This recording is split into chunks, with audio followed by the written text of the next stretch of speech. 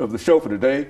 We're talking to Dr. Leonard Madu, and the topic is Cuba. And Dr. Madu has given us some information relative to uh, how the United States became involved uh, with Cuba. And of course, Dr. Madu, let's see if we can pick up at that mm -hmm. point and, and, and, and uh, further uh, develop uh, our discussion on Cuba. Mm -hmm. Yes, you know, because of the policies, you know, chosen by the Castro government, which was anathema to our own government, mm -hmm. you know, the Eisenhower administration, and subsequently, you know, the Kennedy administration, you know, started plotting to overthrow the, the Castro regime. Mm -hmm. This, you know, led to the infamous or famous Bay of Pigs invasion, mm -hmm. which in Spanish they call Bahia de Conchinos, you know, Bay of Pigs.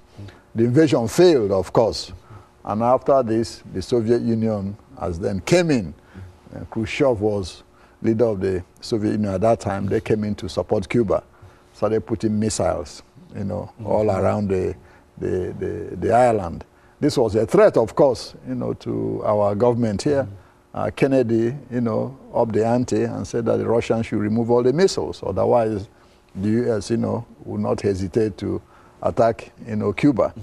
But after some negotiations, you know, Khrushchev, you know, had a quid pro quo. Mm. They will remove the missiles from Cuba as far as we removed our missiles from Turkey. You know, this was agreed, and this calmed down the situation. And because of the embargo, you know, we imposed a big quarantine against. Cuba, which exists up to today. Mm. You know, the Russians came in with about 4.4 to 5 billion dollars a year to the to the Cubans in economic subsidies. You know, oil, food, you name it, imports and exports. This continued until 1991. Mm. You know, when the Soviet Union collapsed mm and communism collapsed all over the world, Cuba, Cuba was left lurching, you know. Mm -hmm. for, dry.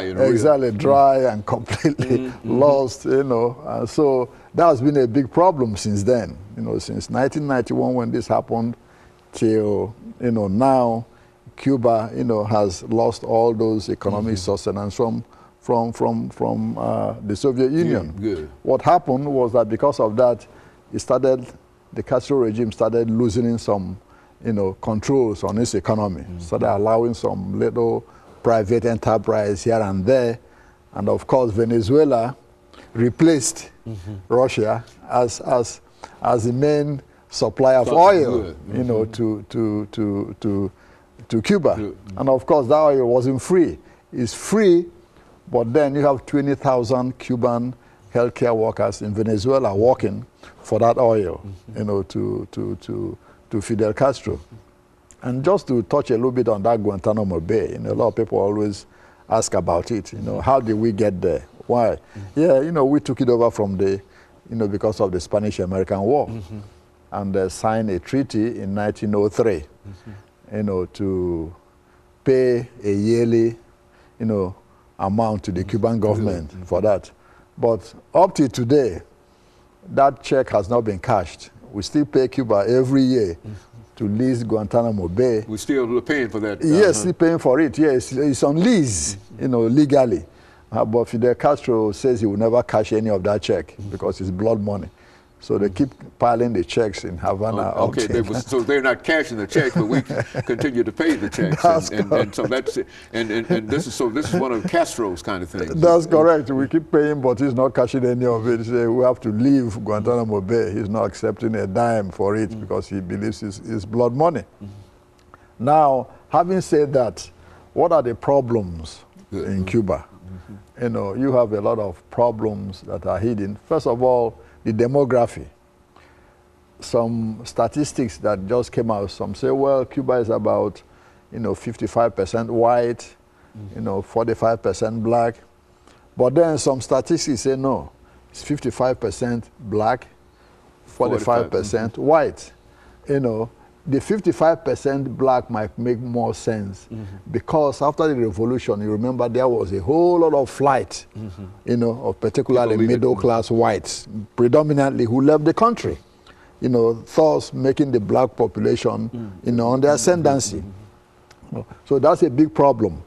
Up to today, you know, the racial disparity in it's Cuba. A, it's a real racial thing. In Cuba. Yes, even though, you know, officially, mm-hmm. you know, it's a classless society But a lot of black folks in Cuba started complaining now about discrimination in Cuba. Mm-hmm. In fact, uh, not a very, very, few months ago, a lot of black politicians and preachers in this country mm-hmm. wrote to the Cuban government about discrimination against black folks in Cuba. Mm-hmm.